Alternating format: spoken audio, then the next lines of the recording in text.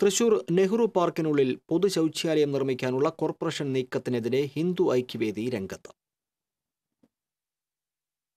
തേക്കിൻകാട് മൈതാനത്തിന്റെ ഭാഗമായുള്ള പാട്ടത്തിനെടുത്ത സ്ഥലത്താണ് കോർപ്പറേഷന്റെ നെഹ്റു പാർക്ക് സ്ഥിതി ചെയ്യുന്നത്.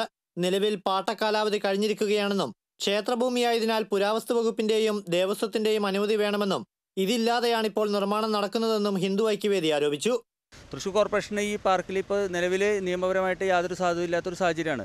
അതിനുപരിയായിട്ട് ഈ വടക്കുന്നാഥ ക്ഷേത്ര മൈതാനത്തിൽ എന്ത് പ്രവർത്തനം നടത്തണമെങ്കിലും ബഹുമാനപ്പെട്ട ഹൈക്കോടതിയുടെ നിരീക്ഷണത്തിലുള്ള ഒരു സംഭവമാണ് ഹൈക്കോടതിയുടെ നിർദ്ദേശമോ അനുവാദമോ ഇല്ലാതെ നടത്താൻ സാധിക്കില്ല. അതിനുപരിയായിട്ട് ആർക്കിയോളജി ഡിപ്പാർട്ട്മെന്റ് പുരാവസ്തു വകുപ്പിന്റെ അനുമതിയോട് കൂടി മാത്രമേ നടക്കാൻ സാധിക്കുള്ളൂ.